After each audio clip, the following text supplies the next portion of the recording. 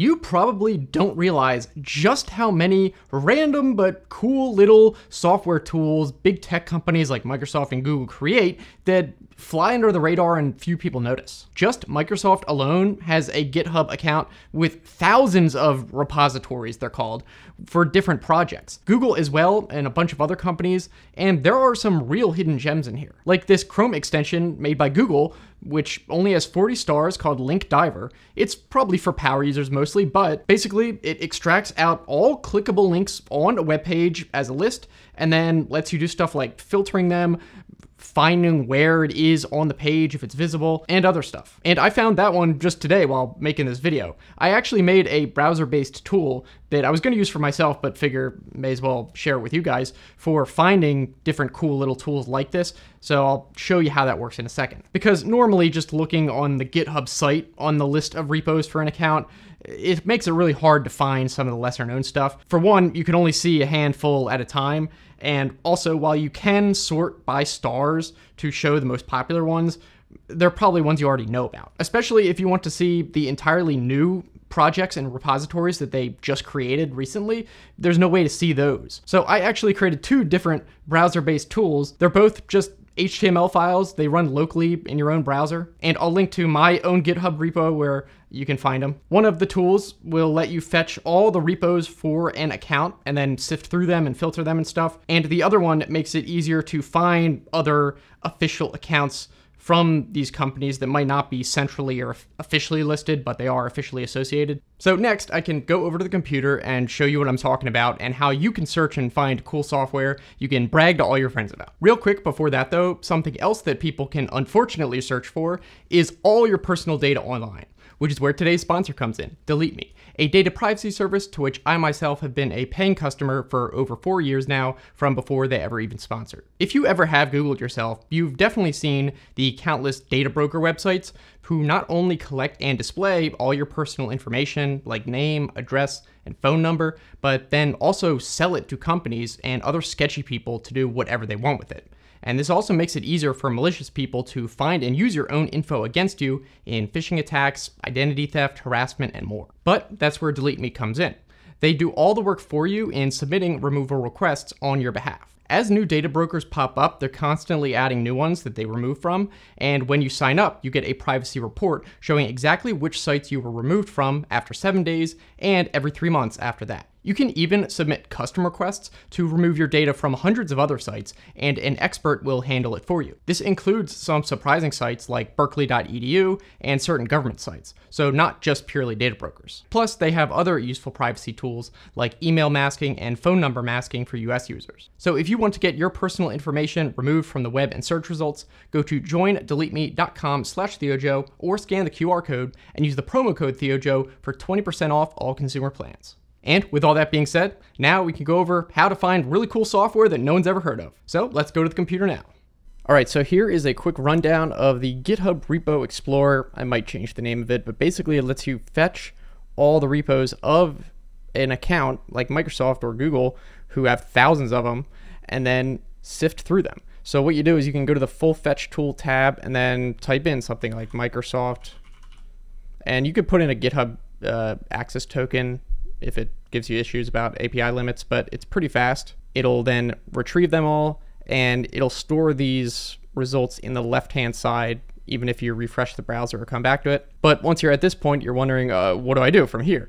Now, there's a few different things you can do. One of the cool things about this is you can sort by the latest created repositories. So on the GitHub website, you can only search or filter by most recently updated, but there's so many that that's not really helpful. But maybe you want to know the completely new projects that they've been working on. And you can see here that they're releasing new repos and projects almost every single day. There's just about all these in the past week or so.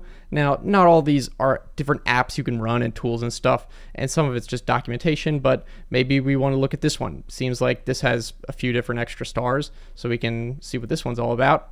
And it says a toolkit for optimizing cloud geotiff streaming. I don't know what this actually is. It might be useful to you, and it's just interesting to look through the more recent stuff, especially the ones that maybe got extra attention. So maybe you're looking for actual tools and stuff that you can use. So maybe what you do is then filter the languages for compiled languages like C, C Sharp, and C++. And that filters all those down. Hi, it's me from the future. Since I recorded the video, I added another feature where it's a column that you can actually see which repos have releases and even ones that have releases with exe files attached. So it's a lot easier to find tools that you can actually run. So you can filter it even more now. And that was not in the video originally.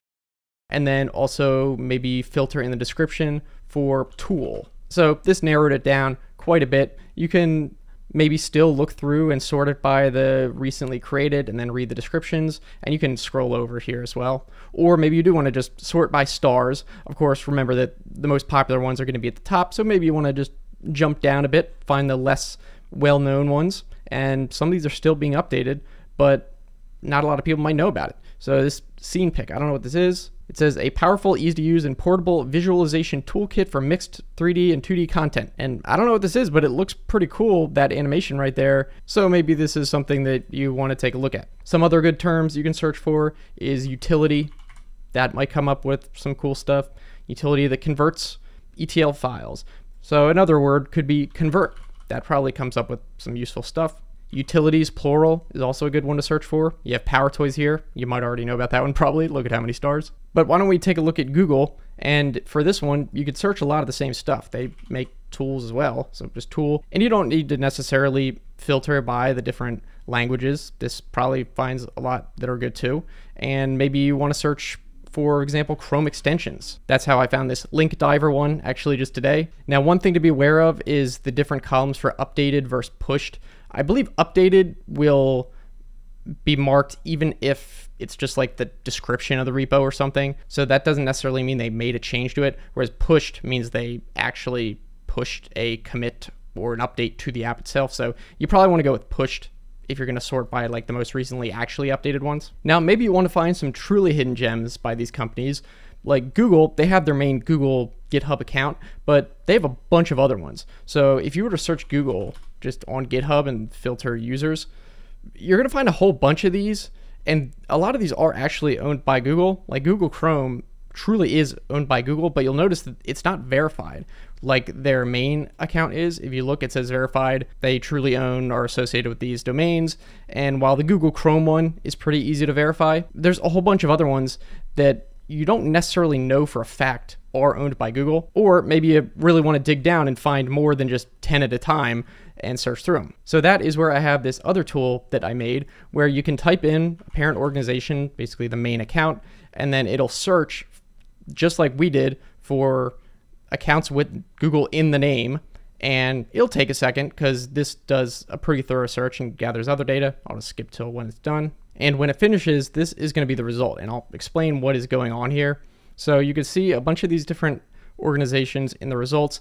And this column tells you if there are any verified domains, which would be listed on the right. So for example, if we go to Google Pay, it says developers.google.com. If we go to the site, it says verified and it's developers.google.com. Now, if you're looking through these, it's going to list the domain verified ones at the top first, but this does not mean that these are necessarily associated with Google. For example, a lot of these are Google developer groups. These are just general communities basically. And you'll notice that this is not a google domain. This is just whatever that organization's is. So this doesn't mean that these are all verified as google. It just makes it easier to sift through these. But then you'll notice that there's a lot more that don't have any kind of domain verification. And while it does have a website linked from the profile like google apis you can see it has this site or google deepmind. It just goes to deepmind.com this is not verified so how do you know that it's legit? Well, you'd have to check manually by going to deepmind.com, for example, but I added some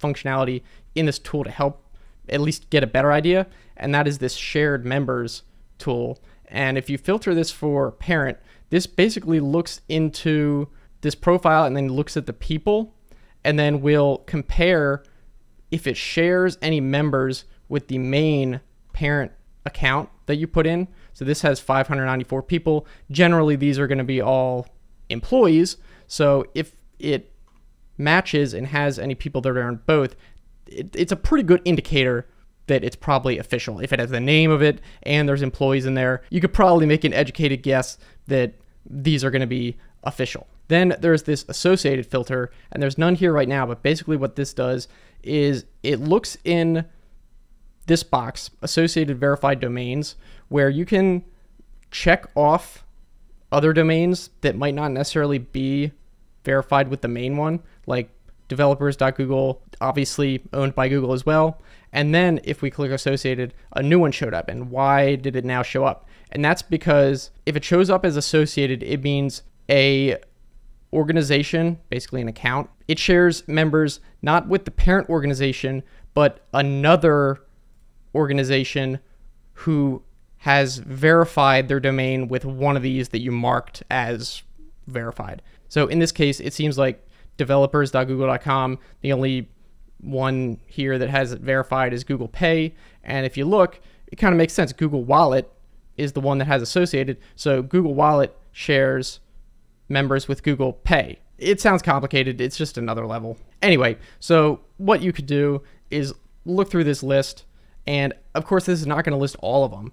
Google probably has hundreds of different teams that have GitHub accounts. This is just maybe an easier way to find some of them. But for example, what you could do is find one of these Google fonts and then go back to the repo explorer, put that in, and we can see that the Google fonts account has 400 different cached repos. And maybe we want to look at the newest stuff that they created. We could do the same thing. Now, obviously, there's not going to be probably apps within this one, but still. But actually, I stand corrected because if I search tool in here, there actually are quite a few results. So the Google Fonts account has a bunch of tools actually. So that's pretty much the idea of it. I'll leave it to you guys if you want to sift through and find really cool apps or just cool stuff in general, let us know down in the comments. The comment section won't let you put actual links, so just put like the name of the repo and then like the name of the project or something.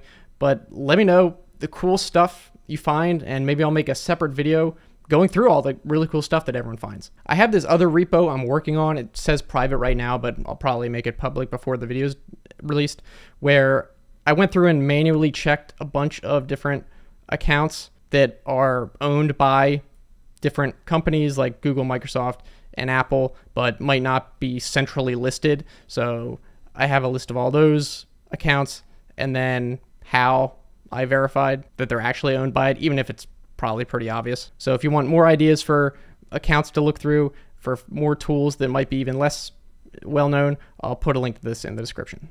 So yeah, let me know what you come up with. So again, be sure to let us all know what you find down in the comments. Any cool tools or something you might just find useful even if you don't think anyone else will. Of course, if you enjoyed the video, you know what to do. In fact, here is the AI slop call to action of the day. Be sure to smash the like button into the shadow realm. Thanks again to DeleteMe for sponsoring. And again, if you want to have your personal information removed from data brokers, go to joindeleteme.com slash ThioJoe and use the promo code ThioJoe for a discount. Now, if you want to keep watching, the next video I'd recommend is where I talked about secret hidden Android phone codes that you probably didn't know existed. I'll put that link right there you can click on. And if you want to subscribe, I try to make videos about twice a week, so it should be worth it. Thanks so much for watching, and I'll see you in the next one.